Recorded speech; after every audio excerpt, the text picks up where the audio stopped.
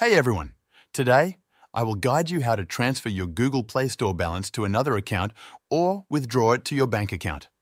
The first thing you need to do is open the Google Play Store on your mobile device. Once the app is open, look at the top right corner of the screen. You will see your profile picture or initials. Tap on that icon to access your Google account settings. A menu will appear with several options. From here, select the option called Payments and Subscriptions. This is where you manage all your payment methods and transactions related to your Google account. After tapping on Payments and Subscriptions, you will see multiple options, such as payment methods, subscriptions, and purchase history. Scroll down and select the Help and Feedback option. This will take you to the support page, where you can contact Google Play Support for balance-related issues. Once you are on the Help and Feedback page, look for the Contact Us option. Tap on it and you will be directed to a section where you can describe your issue. Here, you need to type a message requesting the transfer of your Google Play balance to another account or a withdrawal to your bank account. Be clear and precise in your request.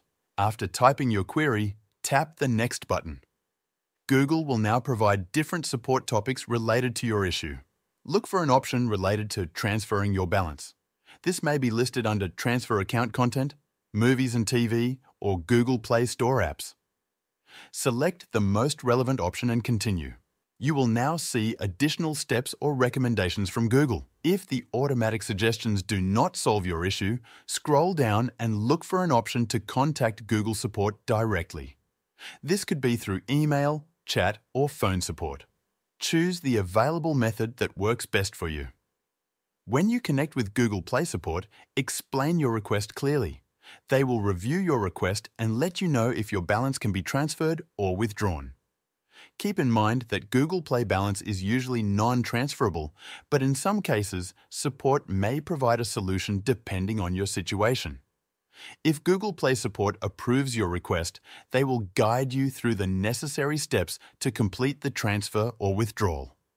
Follow their instructions carefully and provide any required information, such as your bank details if applicable. That is how you can request to transfer your Google Play balance to another account or withdraw it to your bank. And that's it. Thank you for watching.